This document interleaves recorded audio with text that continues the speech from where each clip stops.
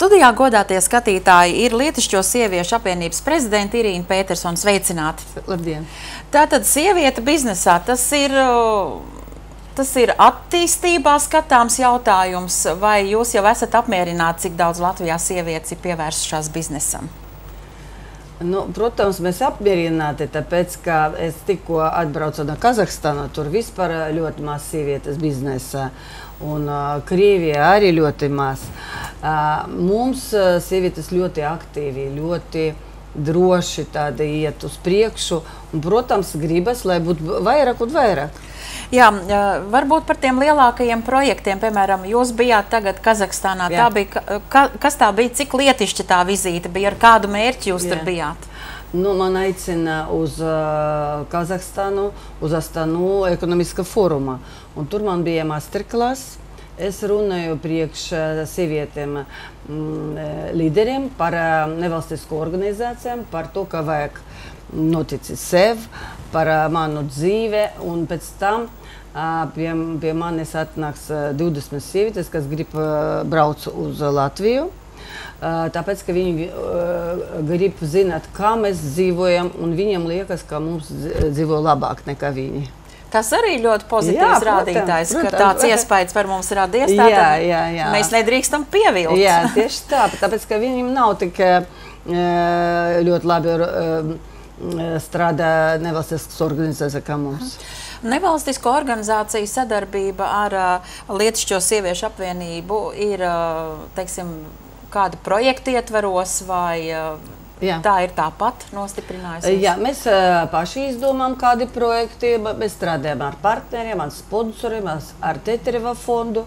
Un, piemēram, šodien izcils pianists un pedagogs uh, Dmitrijs Baškirovs. Uh, Atbraucot no Madrīdas un rīko labdarības uh, meistarklases prie, priekš mūsu uh, Latvijas uh, jaunajiem mūziķiem. Uh, Un visi jūs uh, redzēt, pavelti, dzirdēt, kā viņš to dara. Mūzikālā akadēmija Krišna Barana viens. Mhm.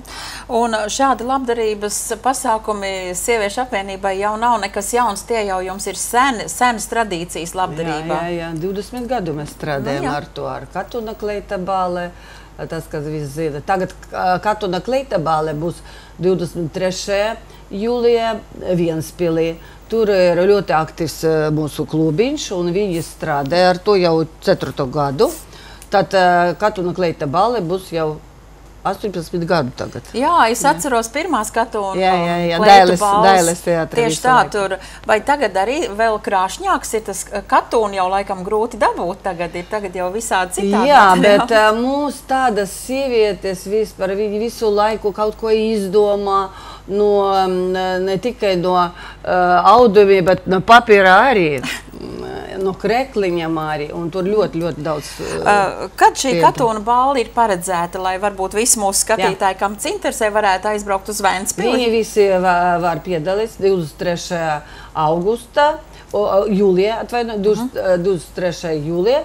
Un uh, piedalās tajā konkursā, ja viņiem ir uh, savas klētas, ko viņas pati uzšoja. -huh. Un ja kāds uzvar, kas ir uzvarētājiem, kādi prieki? Tā, jā, viņiem būs tur dāvanas un uh, kaut kādas uh, speciālas. Uh, uh, speciālas dāvanas no, no, kosmeti, no kosmetikas, no, no visas. Nu, jā. Jā. Labāk paturēt drusciņu noslēpumā. Jā, jā un, tur, un, un, un, te... daudz sponsorus uh mhm. -huh. ir. Un, teiksim, visa tā li liela daļa no pasākuma ienākumiem aiziet atkal labdarībai tālāk. Jā, ja? viņiem ir, tam meitenam, tajā klubai no Vienspēle, viņiem ir savas programmas speciāli bērniem. Jā.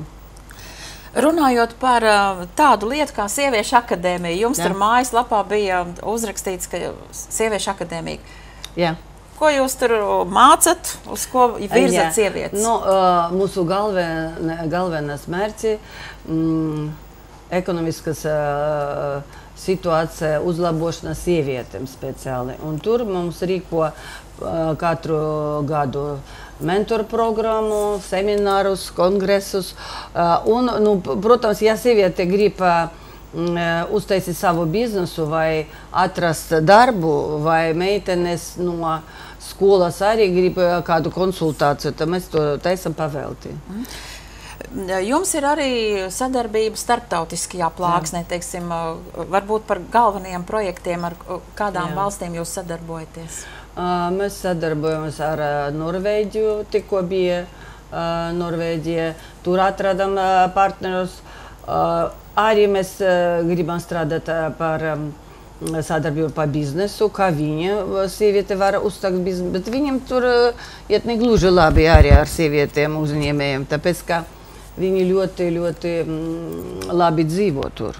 Tas jā. viņam nav vajadzīgs, lai vīrs pelna. Jā, bet viņam ļoti interesanti braukt uz Latviju uzzina, kā mēs šeit dzīvojam, kā strādā eh, nevalstiskas organizācijas un tā tālāk. Pēc tam eh, mēs strādājam ar uh, projektiem no Briseles, Erasmus Entrepreneurs jau piekto gadu. Mēs sūtījām mūsu jauniešiem, un ne tikai jaunieši, bet uh, sievietes gados brauc uz uh, jebkuru valsti, lai mācītos arī biznesu. Mm un uh, naudas priekš to maksā uh, Briseles. Nu, kā notiek, piemēram, tā ieiešana, ietikšana Lietušķo sieviešu apvienībā, vai obligāti jābūt uzņēmējam, cilvēkam, sievietei jābūt biznesā, lai atrastu ceļu pie jums, vai var arī vienkārši iet pie jums sieviete, nu, kura vēlētos vēl tikai nē, uzsākt nē. biznesu? Protams, tikai tas, kas tikai vēlētos kaut ko darīt. Tāpēc, ka, Zina, mūsu sieviete ir ļoti aktīvi. Viņam liekas, ka nav kur iet. Bet priekš mums ir tagad 45 sieviešu klubiņas, 8. mārta mūsu dzimšanas data. Un katru reizi mēs ļoti izskatām ļoti sievišķīgi, narjādni, tādas, jā. Tādas skaistas kleitas, jā. jā, ļoti skaistas hoteli ar koncertiem, ar ziediem. Mums, mums galvenā mūsu mērķi mums vajag atstāt, protams, sievietēm. Jā, jūs runājāt par uh, klubiņiem, ka ir Latvijā daudz šo klubu jā, sieviešu. Jā. Bet tagad arī pirmais, laikam, varbūt Baltijas valstīs dibinās Rotarijas sieviešu klubs. Jā, es domāju, jā, ka nekur neesmu dzirdējis par tādu. Ne, nekur, nekur. Uh, mēs ļoti daudz domājam par to, kā uh, uzlabot to situāciju ar, labda, ar labdarību. Ja? Un zinām, ka Rotarija klubam ir ļoti daudz uh, iespējas palīdzēt, bet viņi nav kur.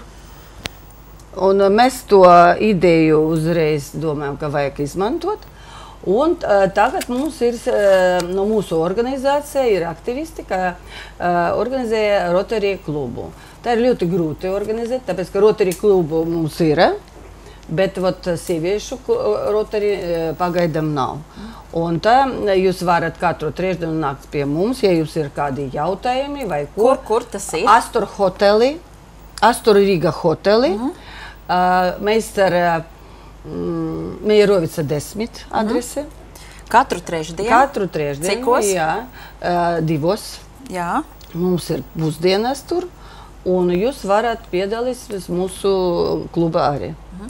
Vai uh, ir jābūt noteiktam skaitam, lai izveidotu, piemēram, šo starptautiski pazīstamu Rotariju klubu? Jā. Cik tur jābūt tam starta skaitam? Jā, tā ir ļoti grūti. Atrast 20 cilvēkus, kas grib uh, maksāt uh, biedru, biedru naudu uz labdarību, nodarbojas ar labdarību.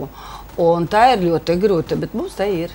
Tas ir ļoti labi. Jā. Īstenībā turīgas sievietes Latvijā nav mazums. Jā, pietiekami jā, daudz. Tieši tā, tieši tā. jā, bet runājot vēl par uh, labdarību, jūs arī mm, laikam esat pielikuši tieši jūsu apvienību roku, lai Latvijas bērni apgūtu, uh, Latgals bērni, piemēram, apgūtu labāk latviešu valodu. Un pastāstiet jā, par šo jā. projektu, un arī, mm -hmm. arī vēl gribētu dzirdēt par otro projektu, par jā. tiem bērniem, kuri nekad nav redzējuši jūru. jā, jā.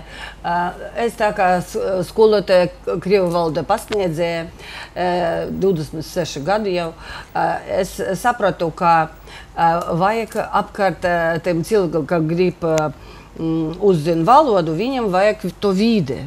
Un, piemēram, mums ir nometne, mēs taisām katru gadu, lai bērni no Latvijas brauc uz latviešu vidu. Tur viņiem ir pasniedzējis latviešu valoda. Piemēram, vecmāmiņas recepti, mm. kulinārija tieši no, no, no, no vidzemes, no, no citām pusēm. Un Viņa brauc apkārt, arī ir nometne uzziņa savu dzimteni. Arī. Un viņam ļoti patīkās. Daudz no viņiem neredzēja, ne, nevienu reizi nebija laukos, un viņiem ļoti patīk tā arī.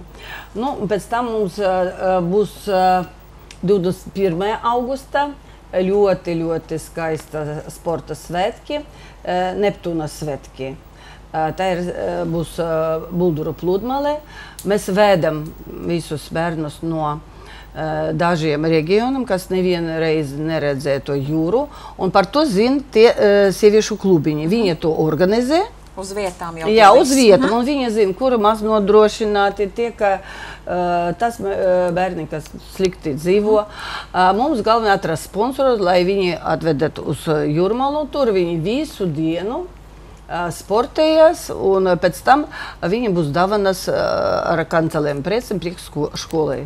Tas, tas, skolai, tas jā, ļoti jauki. Un kuro gadu tas jau būs šie, jūs... Jau ceturto gadu, mm. jā. Atsaucība, protams, liela no Jā, reģioniem. jā, mēs to taisam priekš uh, lauku bērniem, bet, uh, protams, rīdzenīgi arī var uh, piedalīties, un viņiem visiem ļoti patikt. Uh. Jā, bet uh, vēl runājot arī par uh, tādu reālu sadarbību, ka jūs savu pieredzi un zināšanas, teiksim, biznesa jomā varat nodot citiem, vai jūs rīkojat seminārus, konferences, jā. un kas ir tie klausītāji, vai jau biznesa sievietes, vai var nākt jā, jā. Jeb, jebkura sieviete? Mm. Ab, absolūti, jebkura sieviete var nākt. Un, nu, piemēram, es zinu trīs līmenis sievietes, kas grib piedalīties mūsu kursos. Tā ir pirmā sievietes, kas grib uh, mainīt savu dzīvi. Uh, otrā puse - tie, kas grib uztaisīt savu biznesu. Un trešie - tie, ka, uh, kam uh, nav uh, informācijas. Viņa dzīvo ļoti labi ar vīru, vīra pelna. Bet, piemēram, bērni teica, oi, mamma, tu, tu neko nesaproti, tu sēž mājās. Ja? Un viņa arī grib būt aktīva Un tad pēc kā, katram semināram mums, mēs uztaisīsim jauno, jauno mm, nevalstisko organizāciju, vai klubiņš, vai organizāciju. Un tagad mēs visu laiku rastām. Augat, visu augat, laiku jā, augat. Visu jā. Laiku augat. jā.